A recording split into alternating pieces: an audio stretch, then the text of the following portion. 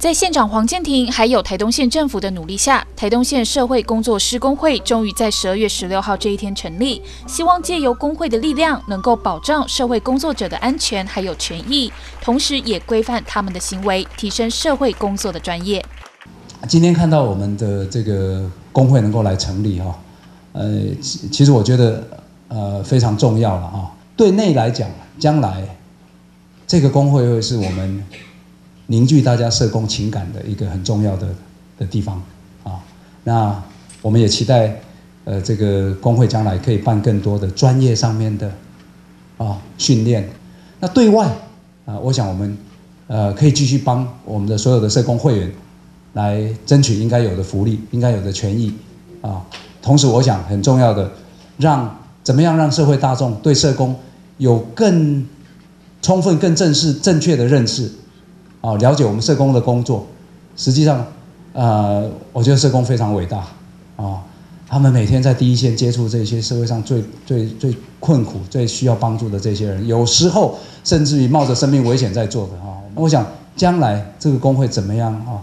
让对外这个把社工的形象啊，社会上对我们的认知能够都能够提升啊。这我相信这个也是工会。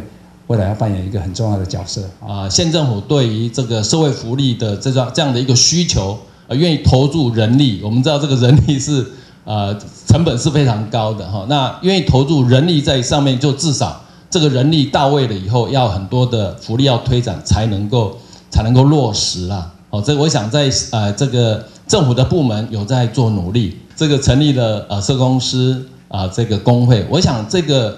对于这个，不管是公部门或者是民间单位来讲，都是非常啊重要的事情哈。就是表示整个台东县其实在社福的部分已经啊这个在正在往前了，更进一步了。借有这样的一个工会的成立啊，能够不止在各位的啊专业领域上，无论是要来训练等等，有更加的提升。我也希望借由这样工作的啊这样工会的啊建立，让每一位工作伙伴。